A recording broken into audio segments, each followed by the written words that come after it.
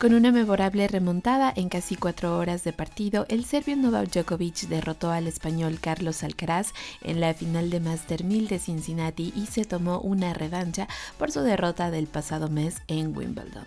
Djokovic salvó una pelota de partido ante el número uno mundial que sobrevivió a otras cuatro hasta imponerse finalmente 5 a 7, 7 a 6 y 7 a 6 finalmente. Con su tercer título en Cincinnati tras los de 2018 y 2020, Djokovic agranda su récord de títulos a Masters 1000 a 39. El serbio culminó así un exitoso regreso a Estados Unidos después de dos años de ausencia e igualó el balance personal con Alcaraz a dos triunfos por bando, esto antes de la gran batalla del Abierto de Estados Unidos, que será del 28 de agosto al 10 de septiembre.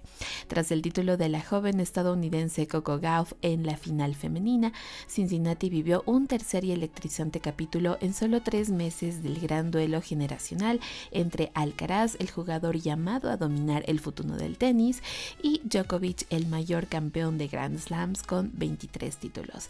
El español de 20 años y el serbio de 36 se encontraban por primera vez sobre pista dura con el recuerdo aún muy vivo de la victoria de Nole en Arcilla en las semifinales de Roland Garros y de Alcaraz en una memorable final en la hierba de Wimbledon.